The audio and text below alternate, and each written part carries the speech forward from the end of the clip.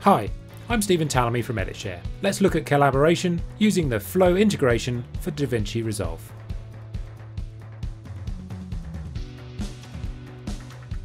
Our new integration takes advantage of the features of DaVinci Resolve 17 to bring the power of Flow right into the Resolve experience.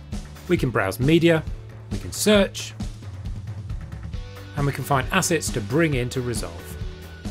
Right now I'm in the middle of an edit and I have a rough cut I want to get reviewed. So what I'm going to do is quickly upload this to Flow.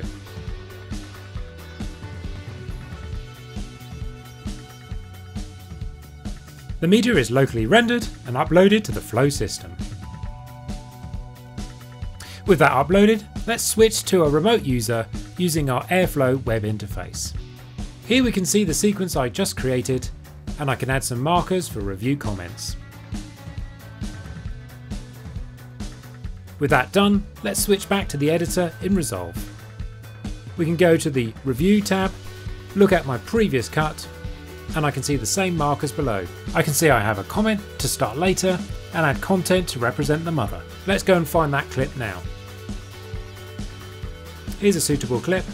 I can preview it, see there are some markers, and import it into Resolve. I can now choose how I want to access this content.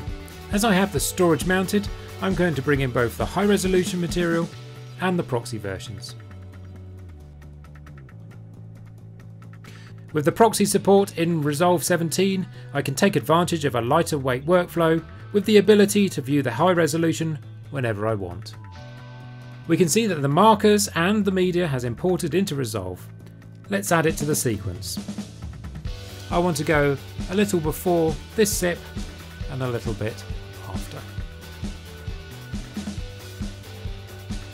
Let's also shorten the sequence.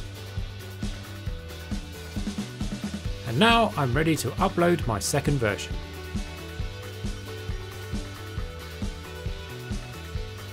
There's loads more you can do with the Flow integration for DaVinci Resolve 17, but hopefully this has given you an idea of some of the workflows available.